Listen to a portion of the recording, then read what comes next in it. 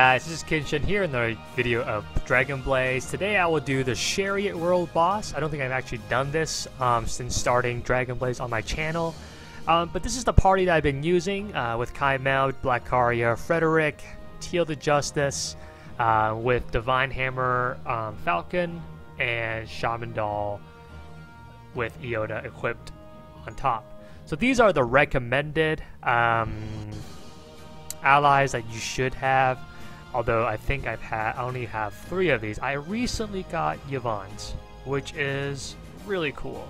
Just want to share that with you here.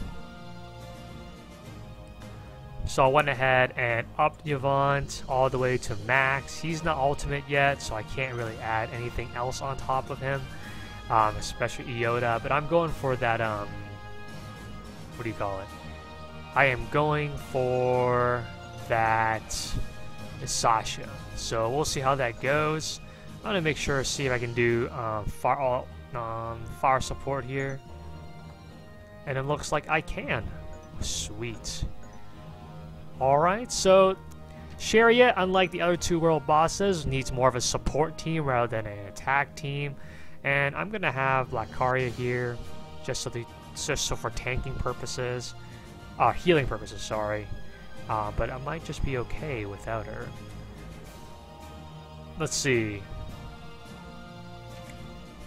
I'm going to stick with this team, and I'm going to go and switch over to um, Gummy Bear for tanking purposes. This is going to be my team for all, for all intents and purposes. Um,